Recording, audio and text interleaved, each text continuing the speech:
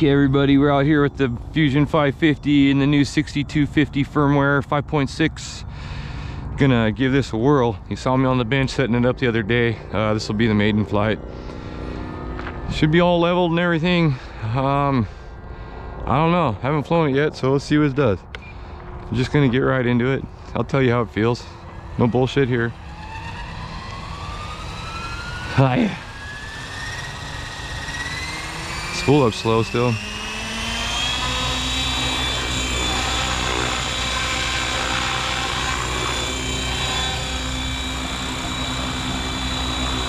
Tail looks good.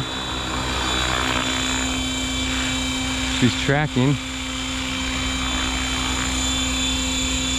We got a little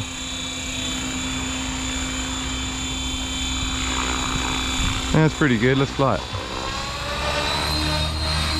Let's just stunt one. Let's see where it's at. Oh yeah, feels like the 360 Fusion now.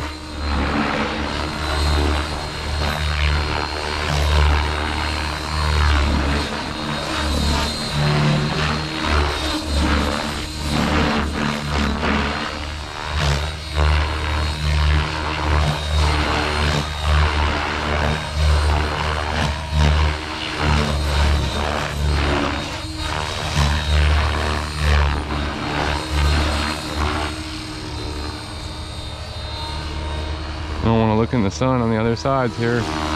Kind of flying over the weeds.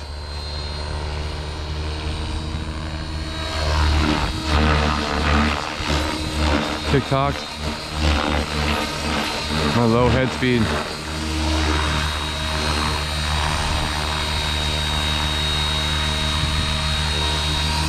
Vero comp.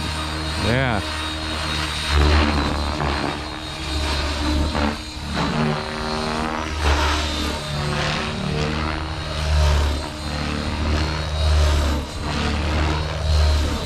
Pretty fucking good.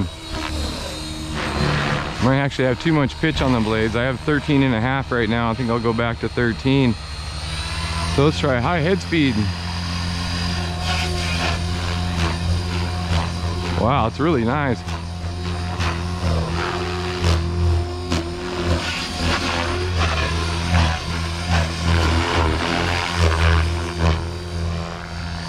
Overspeed it.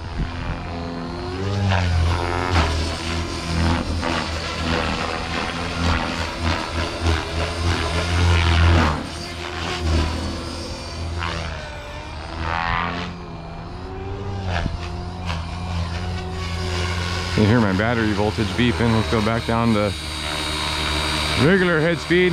So what would I tune? Let's see. We're in a regular head speed now. This is about 2450 and that tail is locked and uh, I don't need to trim it. You can see now, this is not safe mode. This is actual flying the heli. The tail needs a little more stop gain for me maybe. Tail's really good.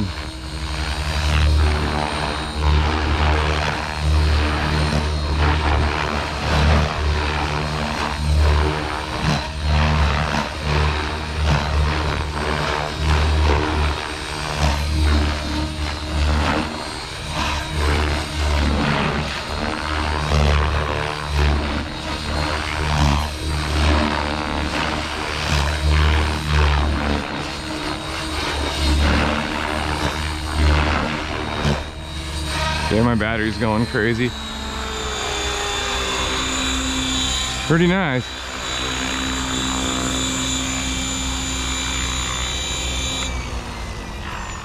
So yeah, my telemetry is beeping at me. There was only one second left. Where's the battery voltage? What's so nice about this is it tells you the voltage of each cell. I'm at 3.76 per cell. Could probably fly another 30 seconds, but why? It was golden, it's a beautiful morning. Um, the new 6250 is working great. You can get this firmware uh, at spektrumrc.com on the updates. And you need your SPM 3065 updater and the Spektrum updater program. Tom Cogswell's got a good video on Spektrum RC on YouTube, so check it. Thank you.